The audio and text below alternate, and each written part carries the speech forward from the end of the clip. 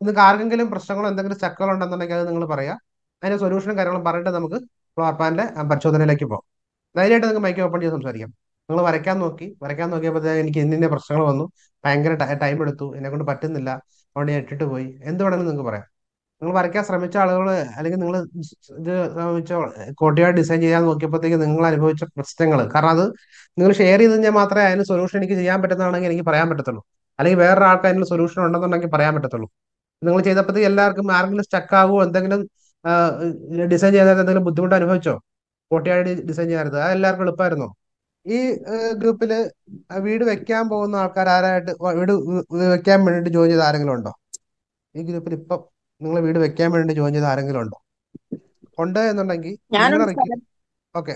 വീട് വെക്കാൻ വേണ്ടിട്ട് ഗ്രൂപ്പ് ജോയിൻ ചെയ്ത ആളാണ്. അപ്പൊ നിങ്ങളുടെ വീടാണെന്ന് വിചാരിച്ചോളൂ. ഇനിയിപ്പോൾ നമുക്ക് അങ്ങനെ നോക്കാം.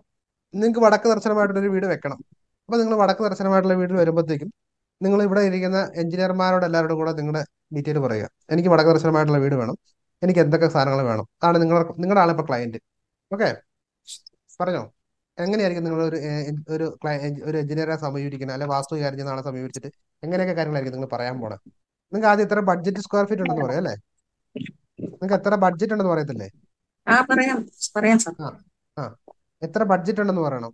നിങ്ങൾക്ക് എത്ര പേരാണ് താമസിക്കുന്നത് അപ്പൊ എത്ര ബെഡ്റൂം ഉണ്ടെന്ന് പറയണം. നിങ്ങൾക്ക് എത്ര ടോയ്ലറ്റ് വേണമെന്ന് പറയണം.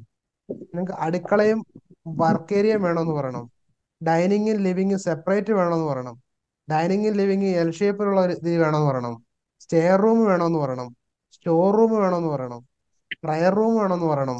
സിറ്റൗട്ട് വെളിയിലേക്ക് തള്ളി വേണോ സിറ്റൗട്ട് ഉള്ളി വേണമെന്ന് പറയണം. രണ്ടാം നില വേണമെങ്കിൽ രണ്ടാം നിലയ്ക്കകത്ത് എന്തൊക്കെയാണ് വേണ്ടതെന്ന് പറയണം. പോർച്ച് ഇതിനോട് ബന്ധിപ്പിച്ചിട്ടാണോ വേണ്ടത്? ബന്ധിപ്പിക്കാതെ വേണം. നിങ്ങൾക്ക് എന്ത് വേണമെങ്കിലും നിങ്ങൾക്ക് പറയാം. ഇപ്പൊ ഞാൻ ഈ പറയണത് ജസ്റ്റ് ഈ ഇതേ ക്ലയന്റിൽ റിക്വയർമെന്റ് നിങ്ങൾ വരക്കണം എന്നല്ല കേട്ടോ. ചിലപ്പോൾ ക്ലയന്റ് നിങ്ങളോട് ഇതേപോലെ ആയിരിക്കും പറയണേ. അപ്പൊ അത് നിങ്ങളൊന്ന് മനസ്സിലാക്കാൻ വേണ്ടി മാത്രം.